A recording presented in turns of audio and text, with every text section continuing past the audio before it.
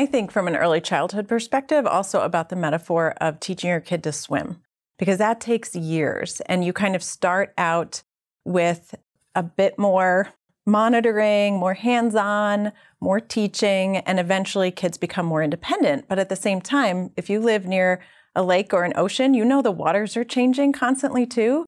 So you may have to have more monitoring or more specific skills that you're teaching at some time when the waters are rough. And I think back to your point about wanting to keep things open so kids will come to us, because media right now is not the same thing as you have a TV in your living room and you're all sitting around watching it and you kind of know what your kid's seeing.